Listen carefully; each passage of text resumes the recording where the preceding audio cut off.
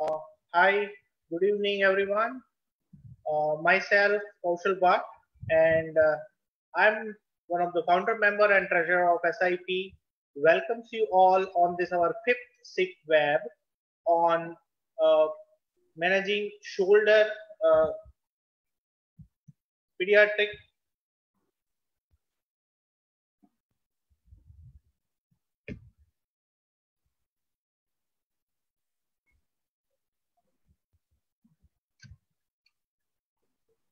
Hello.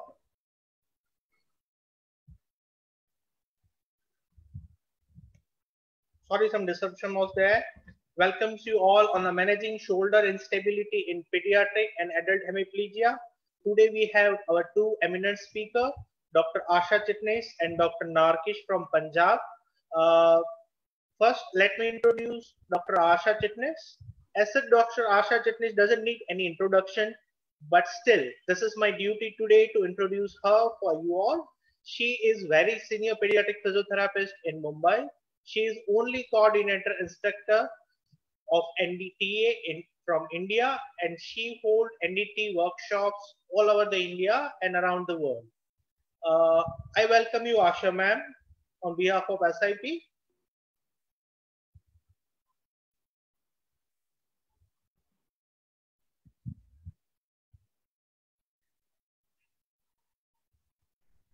Asha ma'am, we can't hear you.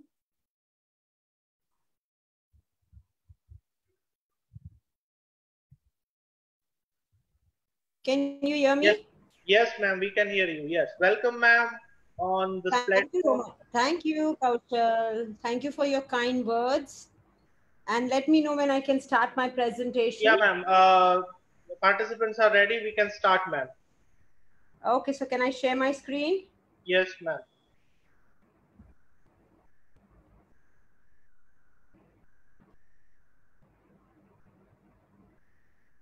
Is that okay, Nit- uh, Kaushal? All good?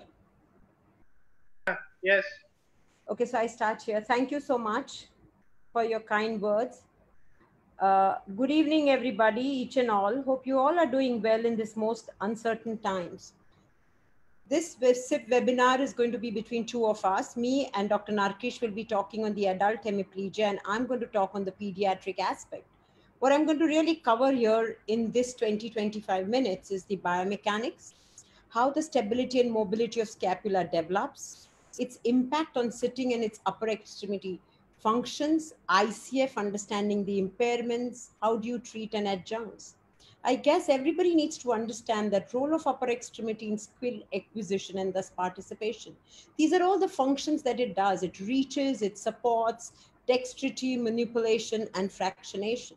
Let's understand the biomechanics. This is our scapula. This is the sternum. This is the rib cage. This is the clavicle, and this is the humerus. The functions of the scapula basically are so important that it gives stability to the upper extremity in weight bearing, in, in, in to orient in space and its resting position is contoured to the rib cage the spine and pelvis look how much it impacts having said that the shoulder girdle is a floating system it relies on the uh, alignment of the axial skeleton and what is very important is the thoracic extension is very essential for shoulder girdle to work effectively the other important structure that we can't forget is the rib cage its shapes and mobility, they have an impact on scapular movement and vice versa. The basic uh, movements of the scapula are elevation, you all know, depression, abduction, adduction, abduction, downward rotation, and upward rotation. This is explained out here, but what you really need to understand that when I look at my pediatric population, what is commonly seen is elevation, abduction, upward rotation. What we really need to keep working for and we do not see in our kids is A adduction downward rotation and depression. Having said that we also need to know the different joints of the shoulder girdle complex we have two false joints the subdeltoid and the scapular thoracic joints and we have three true joints the acromioclavicular joint the sternoclavicular joint and the glenohumeral joint. When they all work in conjunction with the synergetic synergistic activity of the muscles you get what is called a scapular humeral rhythm. Let's understand now the development of the scapula if you really see a newborn, look at his pelvis. It is way up, so the weight bearing is in the front. Your scapulas, when you start as a normal baby, is tipped forwards, elevated, adducted, and downward rotated. By 10 days, when there is elongation of muscles happening, there is some amount of rotator activity, you see some mobility happening in the scapula by two months, what you really need to understand that the scapula moves from some amount of adduction to abduction. Your horizontal adductors, the pectorals actually really push in, give you a lot of scapular adduction, and hence you also get thoracic extension. By three months is what you really see a good balance in your sagittal plane between flexors and extensors. Your head is in midline. Your scapulas have moved from adduction towards outward rotation and abduction, much more stable in uh, prone the biggest understanding that you need to have is how scapula further develops is if you look at a three month old baby which is in sagittal plane the weight shift is on the shortened side. And what it really tells you is on the right side your scapula is abducted but on the right side it is adducted. And you can only weight bear and look on this side and that is with shortening. As the balance happens between flexors and extend sorry abductors and adductors and you move to frontal plane see how there is a weight shift you can really stabilize. This is where the stability of the scapula begins and this is where the upper extremity really starts coming up in space. And hence it is by 4 to 5 months that both our arms get into space we explore we really have good uh, rib cage down and the trunk is also developing when rolling initially starts they actually roll. Basically, what they do is the adduct and really kind of flip flop. But it is at by four and a half, five months when you have good strength and stabilities where they would roll fully. And this is this is how upper extremity really helps in first transitions. By five months, the other thing that really comes up is basically your serratus anterior works with your abdominals, and you really not only get extended arm weight bearing, you get good extension through the uh, thoracic spines and the lumbar spines, which also elongates your latissimus dorsi.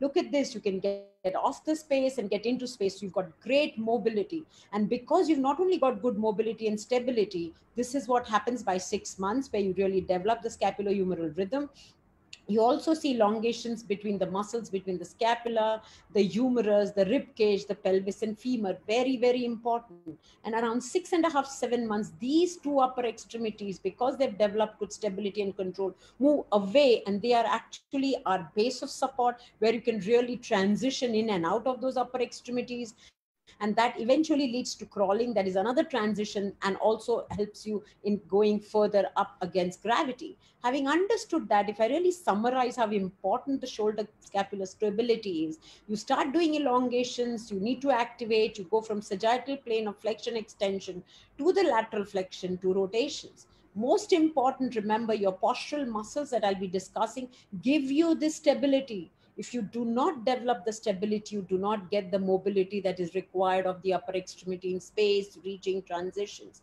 Having said that, having said that, let's understand uh, the ICF. What you really need to understand is at the ICF, this gives you the upper, uh, the impairments in the upper extremity. It could be problems in the sensory system, muscle tone, range of motion, muscle strength.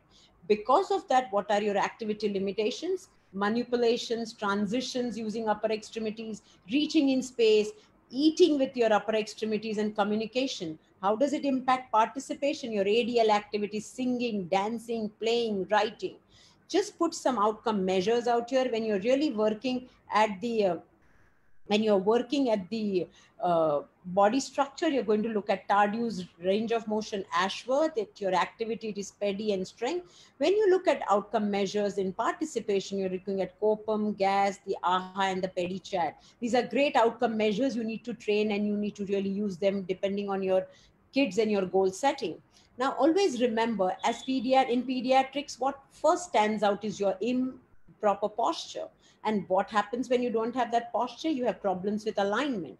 When I say alignment, if there is a faulty alignment, you're going to have problems with muscular imbalance or structural issues. You could see too much of depression, protraction. You could also have problems with your shoulder clavicular.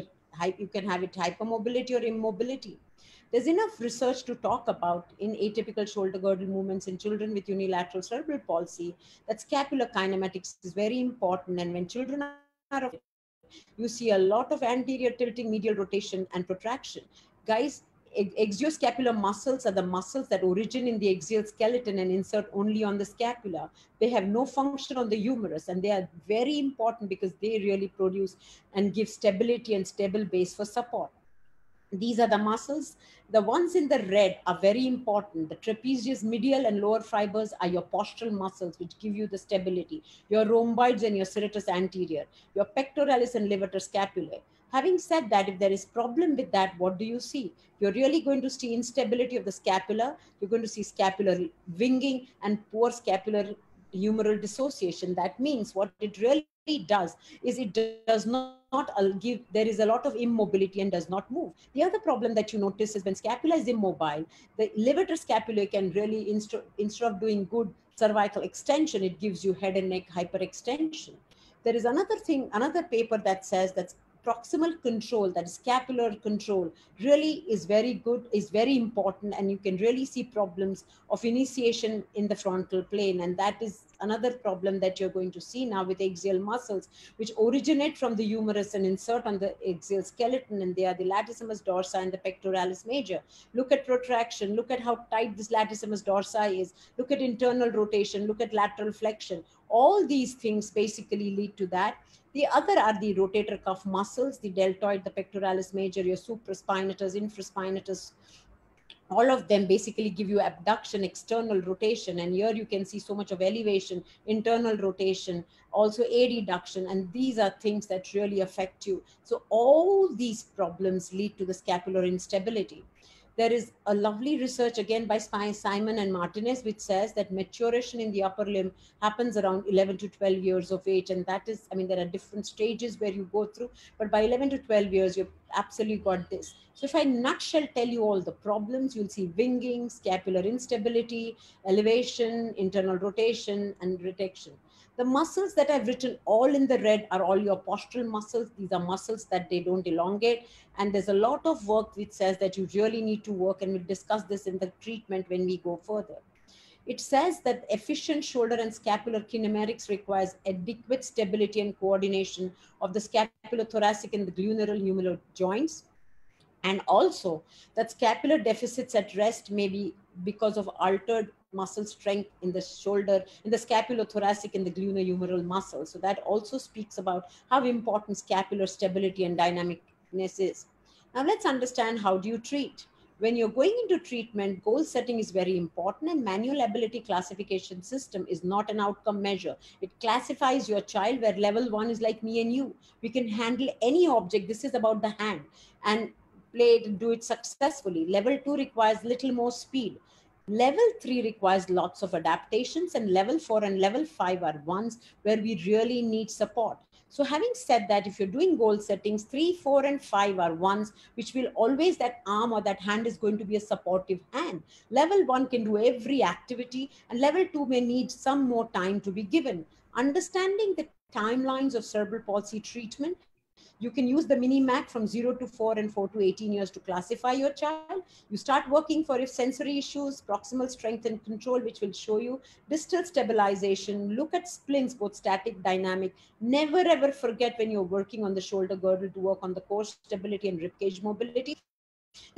Tightness, look at Botox and casting as time goes by, specifically when you have three, four, and fives, be very critical on your goal settings and decide whether you require really tendon surgeries and Botox. How judiciously will you use adaptations, splinting, adjuncts, and on the horizon, at least which is coming, I think so. Narkeesh will speak about it. All this has come from the adult stroke population on robotics, virtual reality, brain uh, com interferences.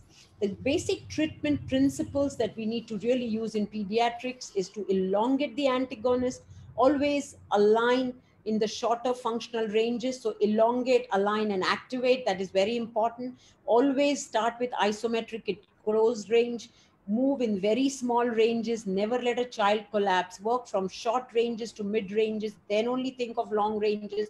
Never ever forget the principles of neuroplasticity. When you start, you always start isometric, eccentric, only if you require speed and things like that. You need to realize that you have to be very, very, very uh, consistent and decide why you want that That is all that you need to understand. So if there's too much of speed, do not, uh, don't need speed, don't do concentric work.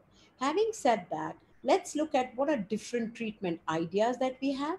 Always remember when you do isometric, closed loop, we are going to really look at proprioceptive inputs that really are consistent. So here he's using my uh, base of support.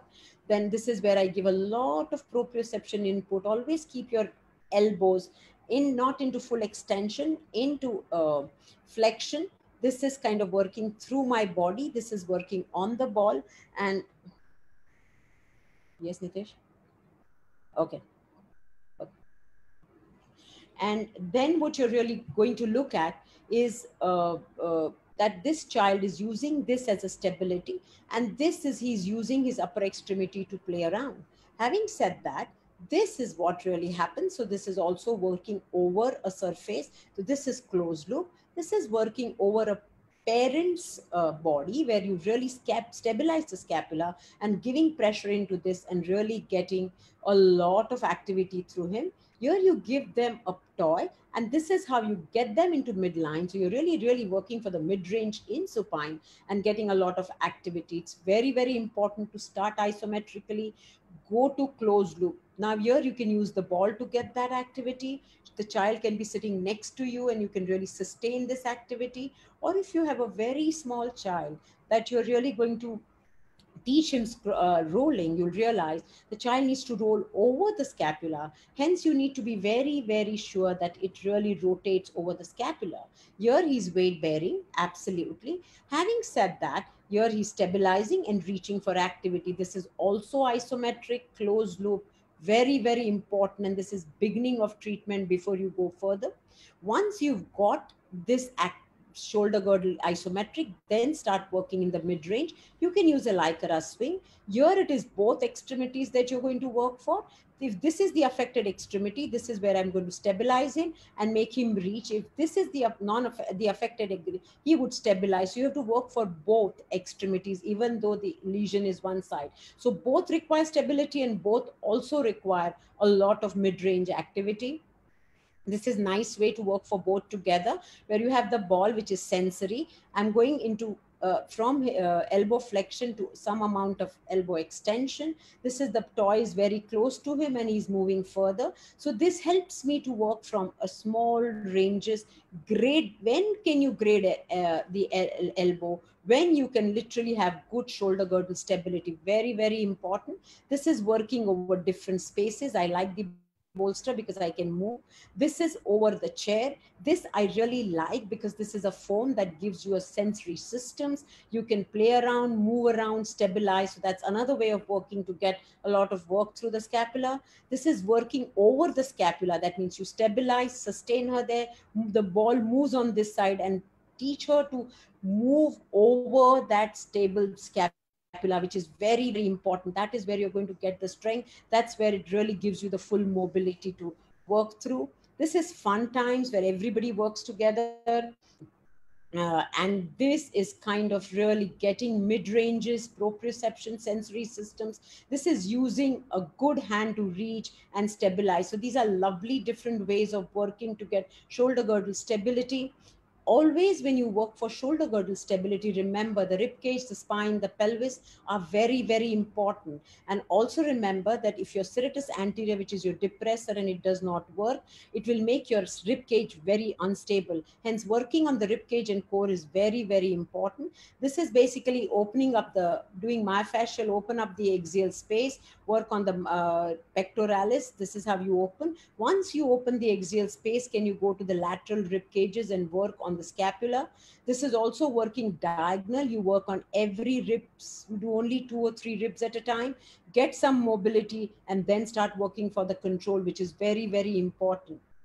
This is working for base, really working through the ball where one extremity is reaching. This starts connecting the shoulder girdle to the pelvis and to the base. This is both the hands are on the bench and he's on the bolster. So I can move my distal end, get a lot of work done here uh, over the scapula. Here he's holding the ball so I can work on mid ranges and, and I can also get my scapula stabilized. This is lovely. You can use two bars where you can use them as static or you can have one fixed and one reaching. You can have two toys and that also helps you to kind of get that activity. The ball is compressing her. This is my body making her work. I can use the stabula as uh, the bolster to go on one side and come on one side. So this gets my core, my shoulder girdle stability and my rib cage aligned very well for eventually the upper extremity going into space. Never forget your adjuncts. These are splints. This is taping there's not much real great evidence, but you have to look at individualized kids and decide what you need. This is for abdominals. These are TheraTogs. These are SPIOs which the child is wearing. And these are Fabrifoams. It does help to some extent to help you their extra pair of hands so they can be used at home. Having said that, these are different adjuncts and devices that you can look at a child, look at the MAC and give them what they require that will help. Splints, these are dynamic splints. There is a meta-analysis done. Some are useful and these are static splints. Look at a child and decide what best you can do. And lastly, don't forget, when you're planning all this, your home programs are important. And when you're planning home programs, basic adaptive equipments, how to place certain things for certain children is a very, very important thing. And when I, when I conclude, when I conclude, uh, when I when I conclude my slide, when I conclude that to address functional outcomes of participation, scapular stability is very important, allow principles of elongation, activation, and alignment, use adjuncts, should be done judiciously and always empower parents. Donald Neumann always said single muscle working in isolation, they all need to work together. As I end uh, my uh, slide, I thank everybody and I convey my gratitude to each and every person that I have worked with, the OTs and the PTs. Thank you so much. Uh, thank you, ma'am, for this wonderful presentation. And I think you have covered every part of pediatric shoulder hemiplegia. Now, before uh, we move to, I have one question personally before, because with the end of the session, we are asking you question. I have as a pediatric physiotherapist. Uh, how frequent you are seeing the shoulder subluxation or dislocation in your practice? Because I have not seen much uh, uh, shoulder subluxation. In hemiplegia, I have seen hip subluxation or dislocation, but I have not seen shoulder. So how frequent it is in our practice? Thank you so much, Kaushal. I mean, it's a very important question. To be very honest, you very rarely have I ever seen a subluxation or dislocation in our kids, which you see a lot in adults. And I think so Narkeesh will cover. The only thing that I want to add out here is if you have a post-traumatic brain injury, and if he has a lot of dyskinetic cerebral palsy and has developed hemiplegia, the chances of those children having some kind of subluxations are there. But as such, when you see children who are just playing kids developing with hemiplegia, we do not see any subluxations or dislocations. Thank you so much. Okay, ma'am. Thank you very much. Now we are moving to our next speaker. Uh, Dr. Narkeesh. Dr. Narkeesh is a HOD of physiotherapy department in the Punjabi University, Patiala. He has uh, guided so many PhD scholars there. And I welcome Narkeesh sir on behalf of SIP. And uh, Asha ma'am has taken pediatric hemiplegic part, shoulder part as beautifully. Now we are looking forward to learn something new from you. Sir, it's up to you. Yes, sir. Thank you very much and give a wonderful uh, chance to talk about this hemiplegic shoulder. First of all, the brainchild of this topic, Dr. Raju and Asa Chitni ma'am, definitely the stroke and scapula, without scapula, there is no upper limb.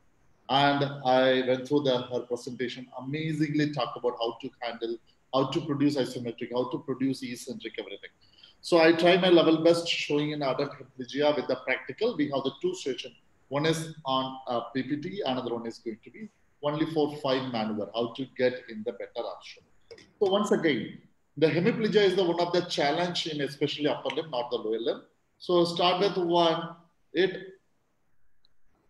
So everybody's know that the ability to heal come from knowing that heal. So everybody's spending that time. It's the most valuable for me So uh, we are going further.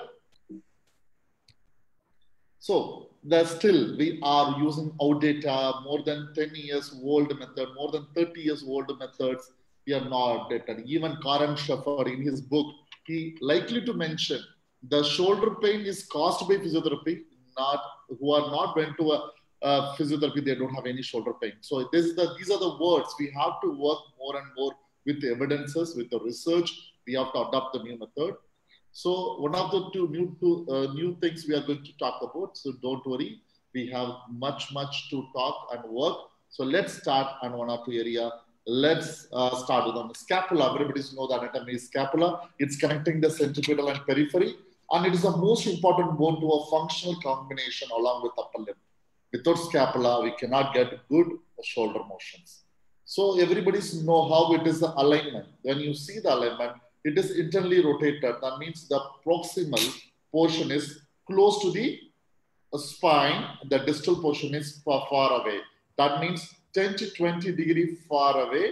That's the most important I want to say. There is also 10 to 20 degree far away tip because of pectoralis minor. Right. When you're talking about the movement, we should know the movement biomechanics because I'm going to show you how to correct the biomechanical also. So during the abduction, initial abduction, there is a less motion. And during abduction, the distance is further and it's further go and further go. And this combination motion is prevent impingement.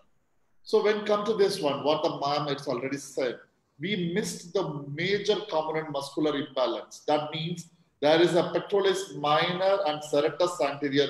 The two important musculature is the reason to are not achieving the upper limb very well. So we have here to produce the anterior to achieve and how to perform.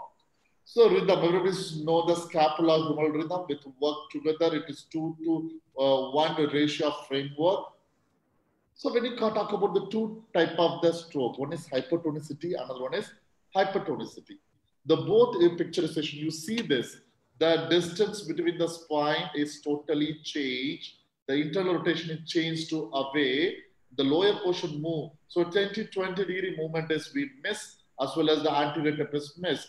CVA paralysis, initial low tone, areflexia, gravitational impact. That's why I want to say initial period subluxation of shoulder is gravitation is the role and postural lateral flexion of trunk also towards affected side.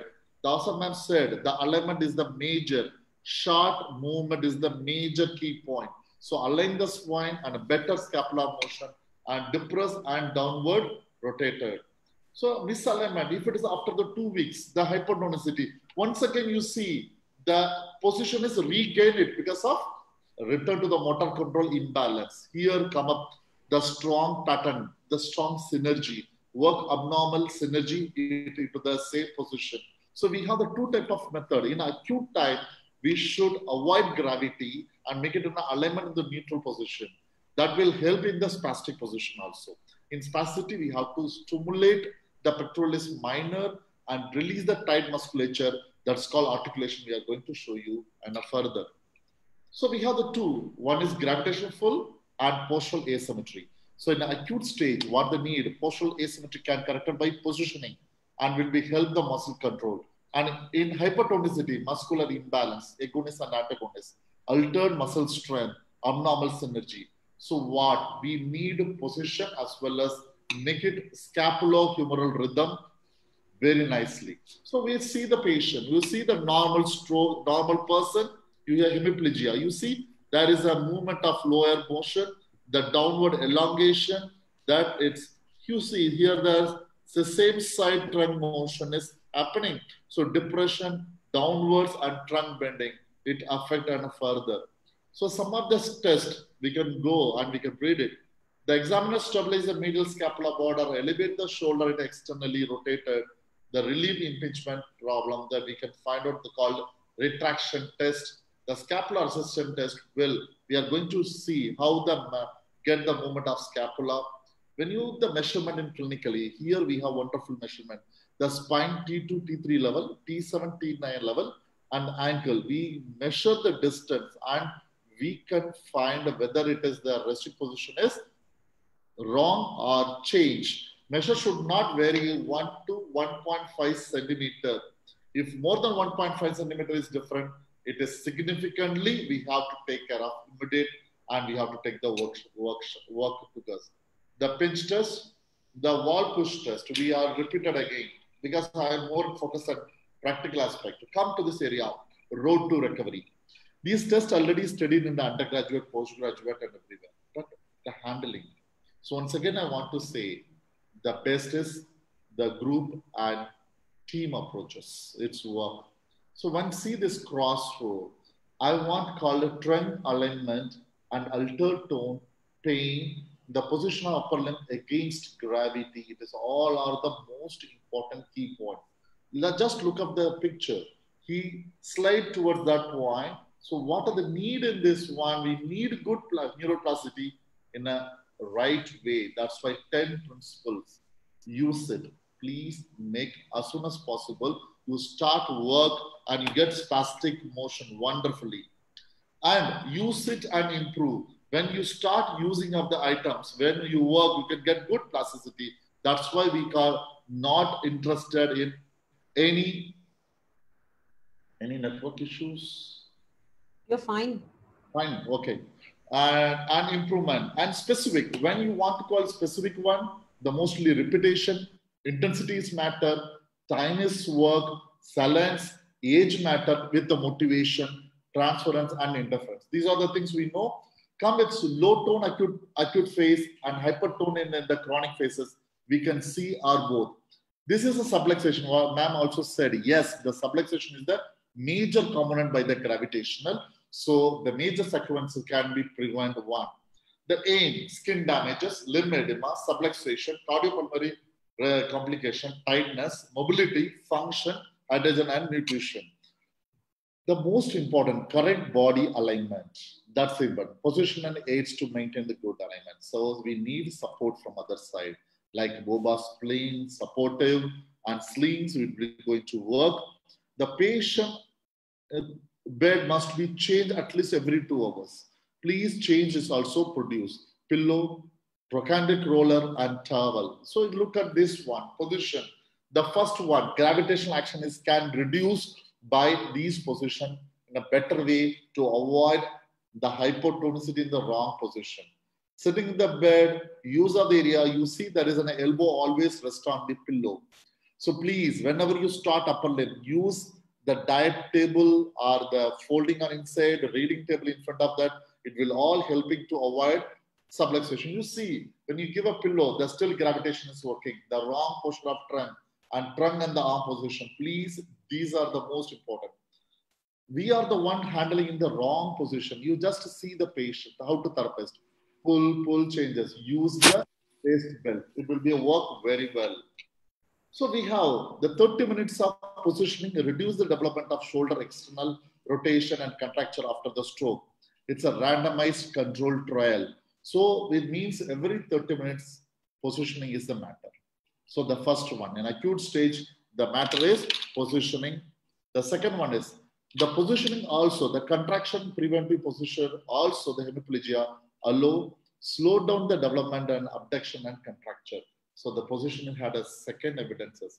That's why I said sling, strap, Bobath sling. Now also that is called in Ottobock also we have the sling which is support. The recent study in 2019 also said yes, arm sling and postural stability work and even trunk abnormality. The effect of the arm sling and postural stability this studied and it will be from Cairo University in 2019 these are the free small my arm exercise. Please, in every day, every person I will explain. If a by arm exercise always work better result. So use both arm, the different level of intermediate level of shoulder exercise. You can watch every one. The effect of bilateral arm is work in upper limb and a stroke patient get better option. The third one is everybody is asking whether I go for a taping or strapping. Yes, you can work. There is a lot of randomized killer you have two. One is called longitudinal longitudinal strapping method, three method, or cross circumferential method. It work very well. The second one is kinesiotaping of L. Number one, number two, number three, number four. Kinesiotaping can work, get a better result of shoulder. This is called, it's my publication also. It is effect of California triple taping method of shoulder subluxation can be prevented. You can see there is work of three forces work to maintain shoulder subluxation can be prevented. And 2015 it, it was published. PNF, everybody know the scapula had a major role work. Come to the point. It, it's a new era, 21st century. We have to be more on technology and techniques. So FES had a strong role in area. Now in India also available, EEG based, EMG based, sorry, EMG based activation of the muscular and get FES and wonderful result in shoulder subluxation and scapular motions. And you can put the electrode and that's how the meta-analysis and this FES can be used to prevent reduce shoulder subluxation at early stroke. So we have the strong meta-analysis systematic review of about FES. So please, everyone, I said, we are the era we should accept more and more. One, robotic hand therapy. Yes, it's come up with a different one. Even IIT Ropar and Rupnagar working with exoskeletal system. Exoskeletal system upper lip alone, along with us performing the one. And virtual reality, yes, the patient participation is matter for especially neuroplasticity and TDCS. The many years we are working with TDCS, yes, it's worked amazingly in three methods. One is called unipole method, unipole of two methods, and a bipole method. Unipole method, one you say, one is affected side anode going to stimulate, and here unaffected side cathode going to be inhibit. So overaction, interhemispheric model can get better result. The overaction of unaffected hemisphere can control by the stimulation and also two electrode. One it's stimulating, one is going to control. Yes, there is a strong evidences performed. Even I can say we are working and getting the amazing result. Now we are coming with a multi-channel EEG, this uh, TDCS. Yes, at, at, at, the same time, we can make a multiple point to get better result. This is the FES, the electrical stimulation wireless method. You can see this one video.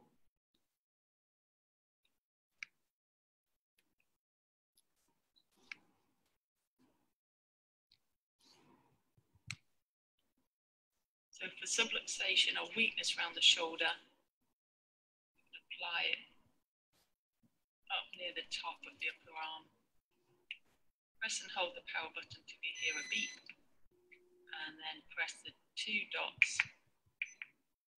to turn it up until you feel the shoulder starting to lift. Yes, now the movement is started. So the subluxation can prevent wireless movement. So here I'm most important to introduce this is called Saebo mass. I'm working with the Saebo for last four, five years. That when the shoulder need to be cut, movement arm support system, get scapula better, better response to perform. So you see the here video how it is work.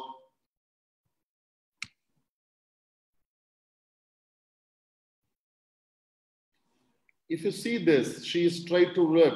What about the trunk tilting towards opposite? The trunk is compensatory mechanism has become more and more. Scapula couldn't separately work.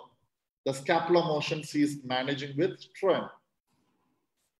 The same lady, after the arm support and mass, you can see her, the, how much the trunk bending is totally lost.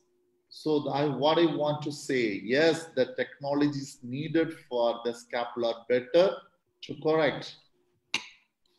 And we have the another one video in, the same procedure. You can see his hand function is wonderfully had a good precision and grip. The biggest problem is cannot get task oriented. You see his him compensatory lateral bending, too much of bending. Even he cannot get you because of this shoulder scapular work improperly. Even he had a good hand grip, good elbow motion, but scapula doesn't. So the, today the, I'm with the topic. Yes, without scapula, that's not possible. You see this with mass. You can say the Saebo mass with assistance. You can watch his trunk wonderfully. You see how much easy to put the transfer of a toss in a specific work with his satisfaction. Wow, this is the most important. When you see the another one,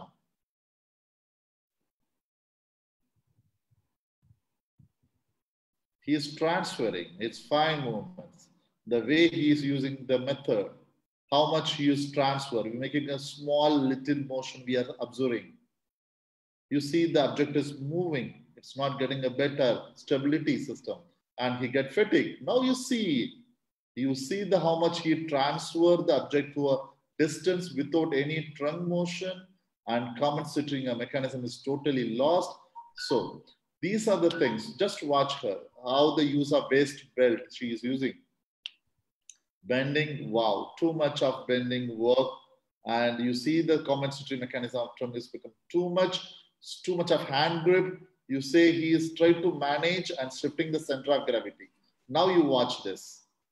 Wow, he is not even move the trunk and wonderfully get a better outcome and minimum support he required for specific task oriented exercise.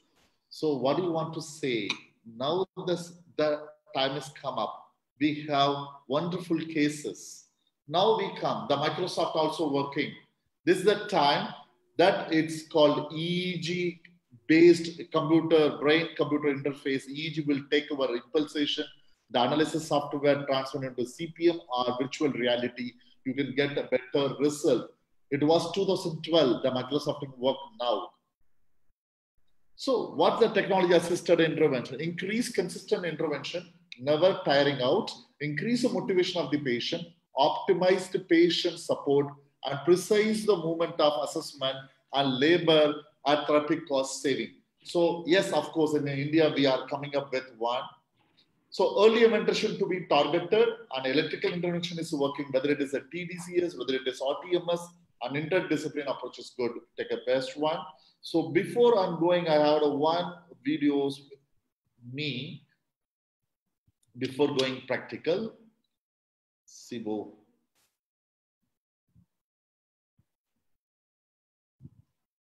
Put it somewhere, Saebo.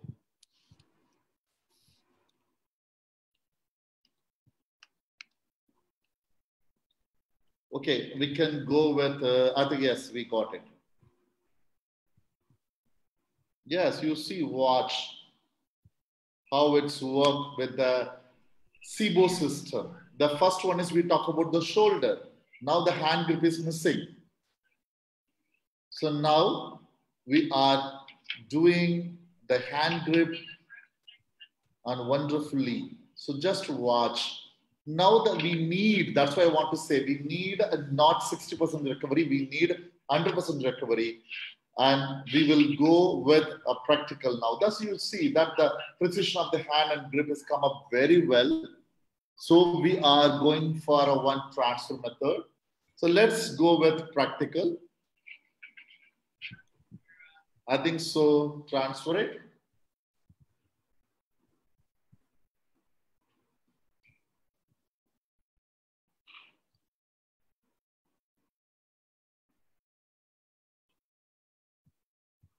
Hello, everyone.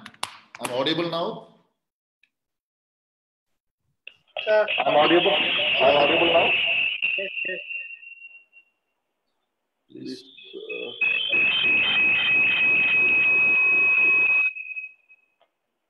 All right. There is no echo. No, sir. Okay. Okay. Just to change the camera. Just hold it. Come. That. So we have the model here. We can see the focus to here. When you come up, this is a normal scapula. This is a hemiplegic scapula. So the scapula has to come outside. How to know to treat this one? So we start from the first method. We need a lateral movement along with superior humerus. In osteopathy, we call it medial scapula and inferior humerus. So we take into this lateral and superior humerus. That one maneuver we are going to perform in sideline position. The first maneuver we are going with the supine that is called articulation. Lie down straight.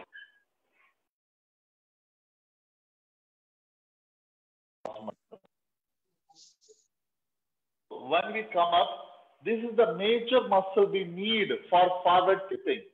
Everybody knows 10 to 20 degrees is the major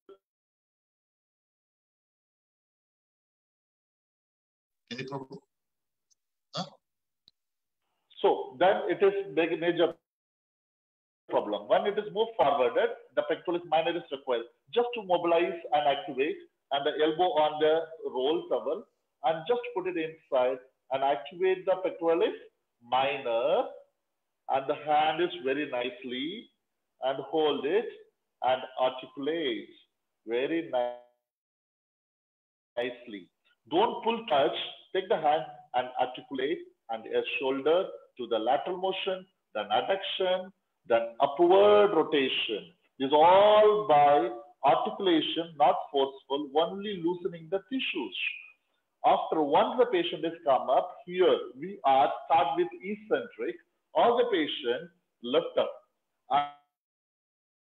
And towards ceiling, take it slowly, slowly, slowly, slowly, slowly. Wow, this is promote the lateral motion of the scapula in acute stage. That's why it is a safer method. In concentric work, we are not allow only eccentric. So take it back slowly. Very nice, very nice. Take it back.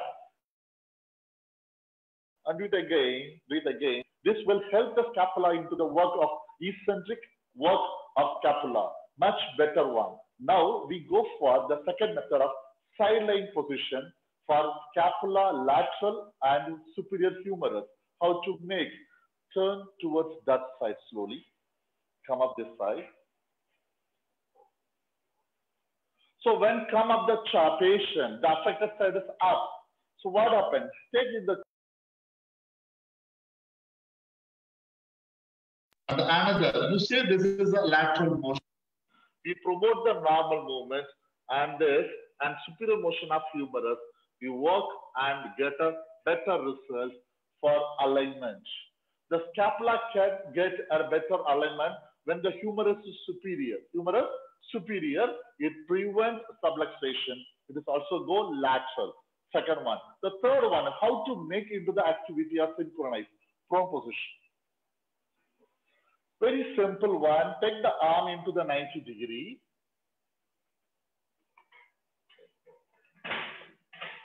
You see this one, or you say the movement, the scapula is moving, moving. When the hemiplegic patient, it's stuck. So what happened? Just to mobilize and participate the motion. Then repeat again, go further.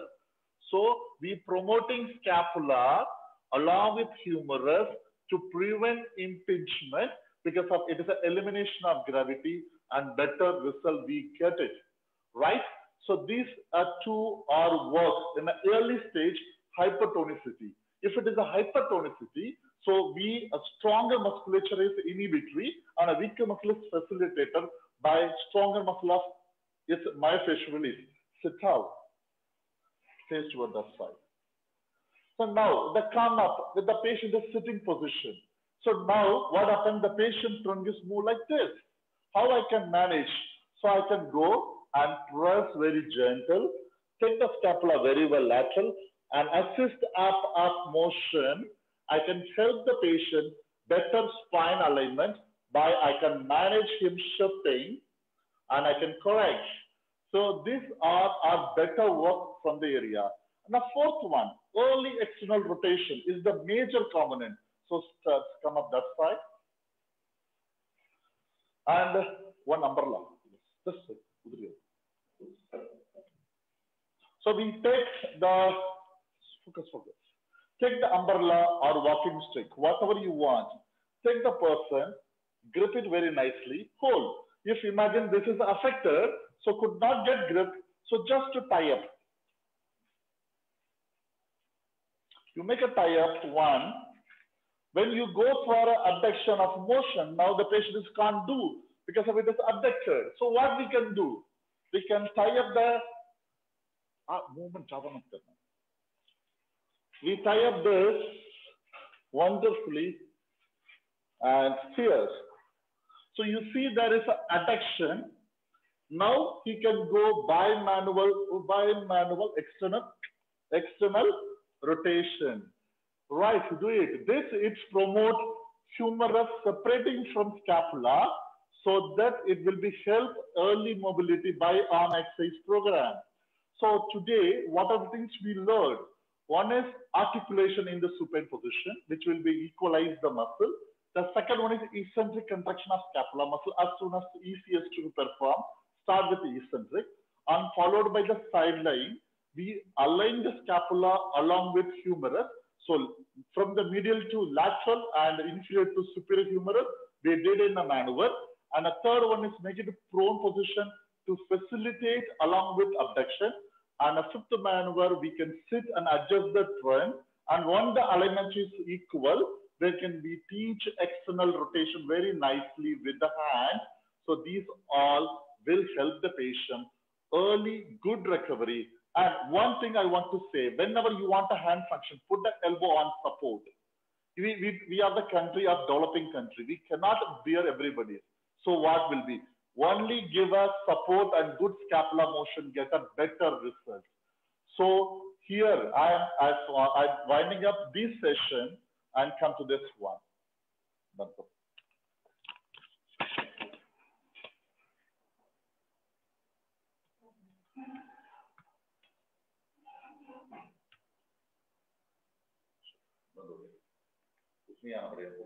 Thank you very much, uh, Narki sir, for this beautiful presentation along with your practical demo also. Uh, as we are having full house of attendees in a Zoom as well as on Facebook. So there are too many good uh, take home messages. Now we are having lots of questions from our participants. So I think we can start with Asha ma'am first.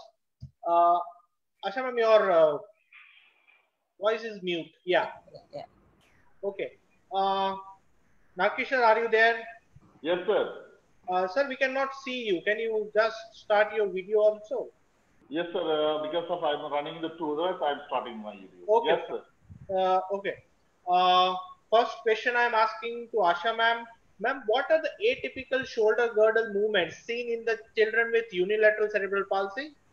The most common that I spoke uh, is the elevation, abduction, and outward rotation. These are very commonly seen in kids. And that's one movement that you see all the time. And that's why you have scapular winging.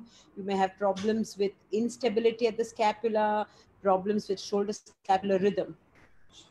Okay. Uh, so, fine.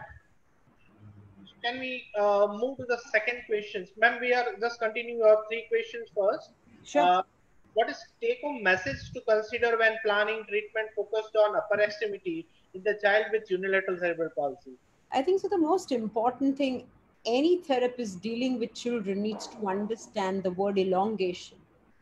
Then you need to align, and then only can you activate. If you understand these three things, they are very, very important.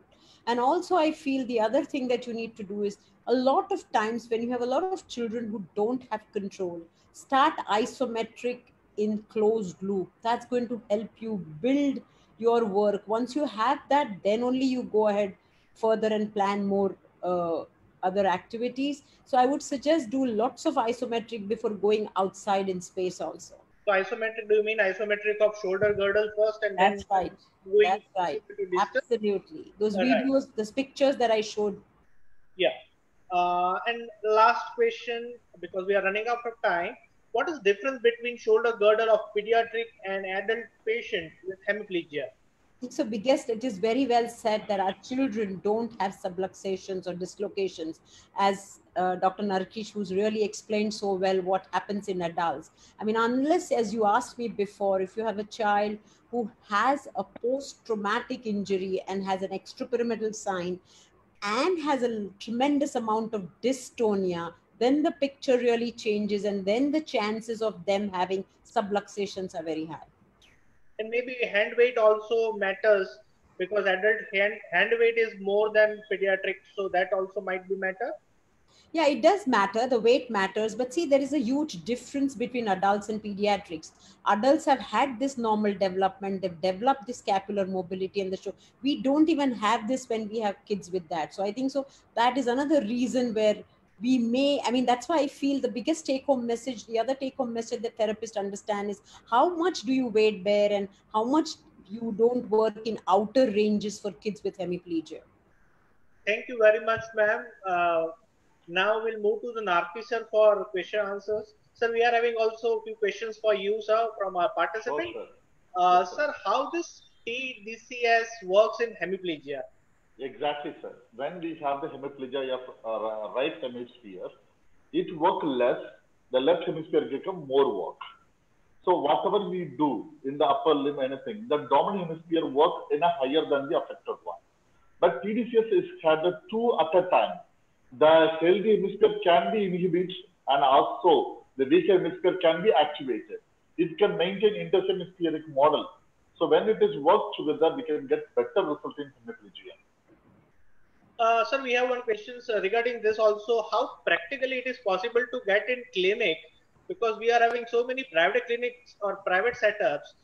So people are asking like, is it feasible to get this all devices in our Yes, clinic? sir. Uh, that's why I want to say this. Once upon a time, the TDCS costed around 10 lakhs, but the India made, make in India made it available only 38,000 rupees.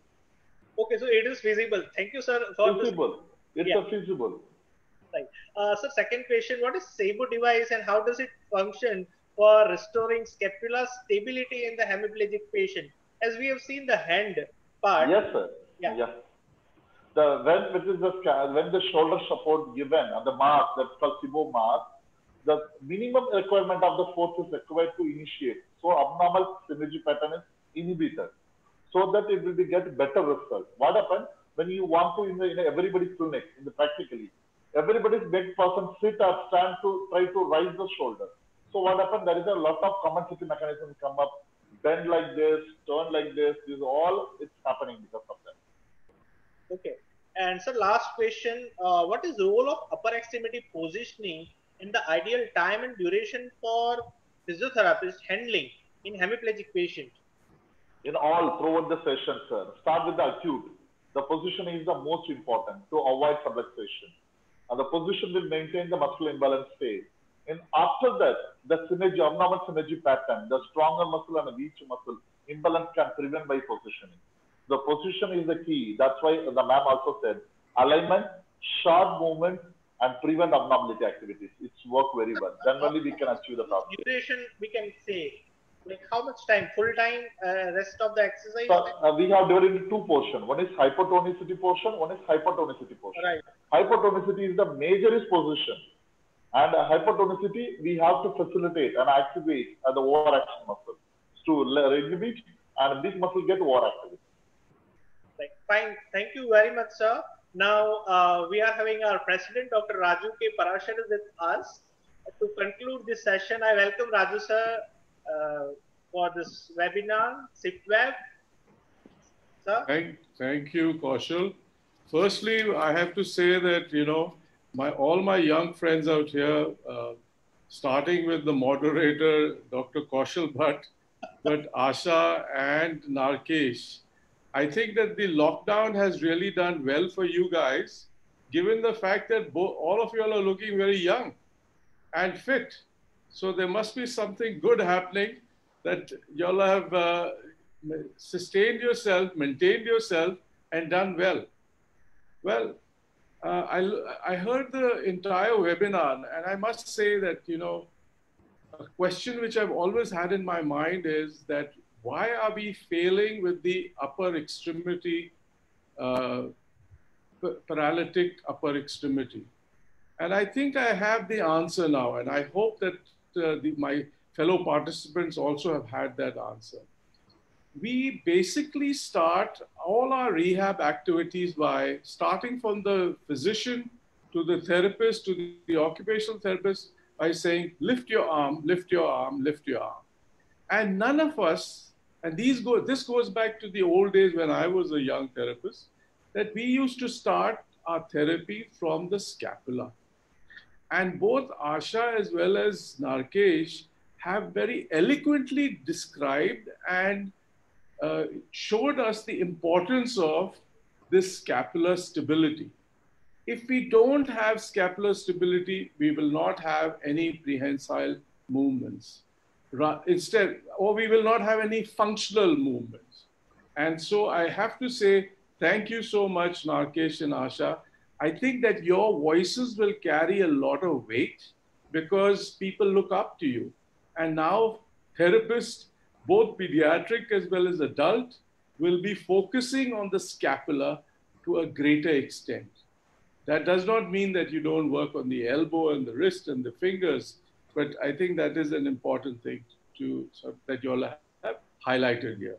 So finally, I don't have anything more to say, but thank you so much, Professor Narkeesh and uh, uh, Chitnis.